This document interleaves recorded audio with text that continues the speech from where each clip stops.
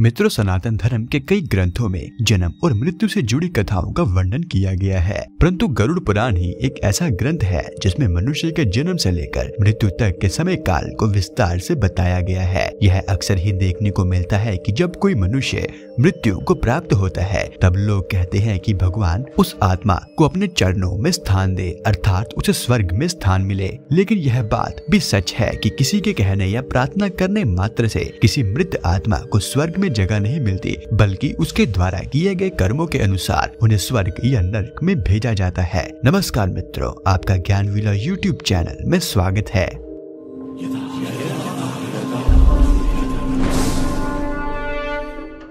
गरुड़ पुराण के धर्मकांड अध्याय के प्रेत कल्प भाग में मृत्यु के बाद मृत आत्मा के साथ होने वाले सभी कार्यों का वर्णन किया गया है। इसी भाग में पक्षीराज गरुड़ के पूछने पर भगवान श्री हरि विष्णु जी मृत्यु के पश्चात कैसी आत्मा को कहाँ जगह मिलेगी, इसके बारे में बताते हैं। गरुड़ पुराण के अनुसार जो मनुष्य जीवित रहते हुए गलत कार्य करता है या फिर दुष्ट होता है, वह नर्क में जाता है और जो लोग अच्छे कर्म करते हैं, वह स्वर्ग में जाते हैं। स्वर्ग जिसे देवताओं का स्थान माना जाता है, जो बुरे कर्म करता है, उसे नर्क में ले जाकर बुरी तरीके से दंडित किया जाता है, जबकि अच्छे कर्म करने वाले व्यक्ति को स्वर्ग में सभी तरह की सुविधाएँ उपलब्ध की जाती है। भगवान विष्णु बताते हैं कि जिन आत्माओं को स्वर्ग में स्थान मिलता है, उन्हें यमराज स्वयं अपने भवन से स्वर्ग के द्वार तक छोड़ने आते हैं, जहाँ अप्सराएँ उनका स्वागत करती है। यह वह लोग होते हैं जो दूसरों के बारे में सोचते हैं जीवन भर परोपकार के कार्य करते हैं। उन्हें मृत्यु के पश्चात बिना किसी संदेह के स्वर्ग में स्थान मिलता है।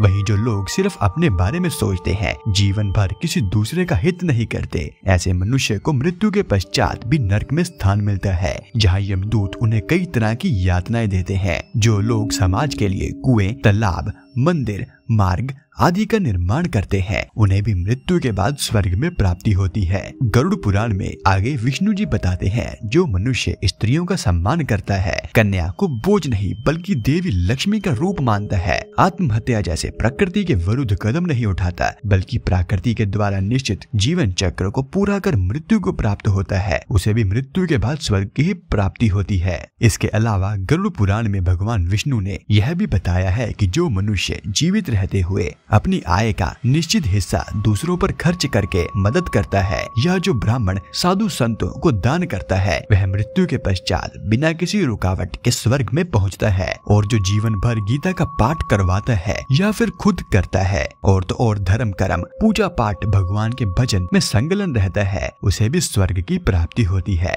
दूसरी ओर जो व्यक्ति पूजा की जगहों को निजी नज़र से देखता है, वेद और पुराण को छोटा समझता है, अच्छे लोगों को धोखा देना और किसी को आभार व्यक्त करने की बजाय उसे अपशब्द बोलता है। वह व्यक्ति नर्क में जाता है। जैसा कि हमने महाभारत में देखा है, द्रौपदी की असीमता के साथ खिलवाड़ कर कौरवों ने अपना विनाश खुद ही रख लिया था। इसीलिए कभी भी किसी भी औरत की असीमता के साथ खिलवाड़ ना करें, बल्कि उनकी इज़्ज़त करें। किसी गर्भवती महिला की हत्या करना भी महापाप होता है, क्योंकि उसके अंदर भी एक जान होती है। जो लोग जरूरतमंदों और गरीबों की मदद नहीं करते, उन्हें भगवान सीधा नर्क में डालते हैं। कमज़ोर को सजा देने वालों को भी स्वर्ग नहीं मिलता। अपने सुख के लिए कभी दूसरों की खुशी ना छीने। पुराणों के अनुसार ऐसा करने पर नरक में इस जुर्म की कड़ी से कड़ी सजा दी जाती है। तो मित्रों, यह था आज का हमारा वीडियो। अगर आपको वीडियो पसंद आया है तो वीडियो को लाइक कर चैनल सब्सक्राइब ज़रूर करें। और यह वीडियो देखने के लिए आपका धन्यवाद।